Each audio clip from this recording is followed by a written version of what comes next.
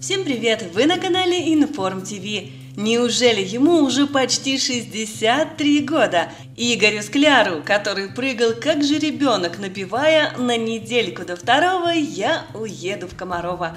Он покорил сердца миллионов женщин, девушек и даже бабушек. Согласитесь, время летит. При этом свадебных снимков Игоря и Натальи Акимовой совсем нет. Зато легко можно найти фотографии бракосочетания Натальи с Андреем Краско. Оба красивые и очень счастливые. Они учились в одном вузе и полюбили друг друга с первого взгляда.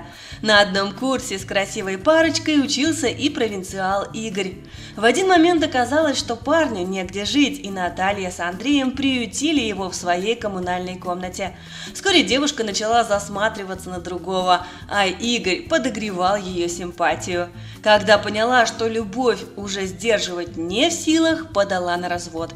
Это очень сильно тогда ударило по Краско, он их не простил. Свадьбу с Клярой Акимова сыграли только когда родился их сын, а это произошло через 12 лет после знакомства. При этом женщин у Игоря было уж точно не меньше, чем у главного российского Казановы Владимира Машкова. Скляр заводил романы с актрисами и журналистками, но Наташа прощала все. На съемках картины «Дети понедельника» он потерял голову от Ирины Розановой, которая была его партнершей. Мужчина упорно добивался ее расположения, но Розанова, кстати, надо отдать ей должное, зная, что Игорь занят, все время отказывала ему. В итоге актер ушел в длительный запой. Но таких, как Ирина, было мало. В основном женщины отвечали актеру взаимностью, и их не смущало ничего. Когда Скляру было 45, на его пути попалась 20-летняя роковая красотка – Мужчина ее быстро охмурил, но ей было мало быть просто любовницей. Она хотела замуж и полного материального обеспечения.